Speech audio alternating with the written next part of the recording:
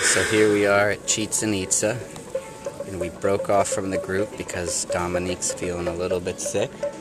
So we found a little picnic space, brought our radio out, got some ice cream, and that's the first smile she's had in two hours. She's finally happy. And look at the scenery. Pretty beautiful.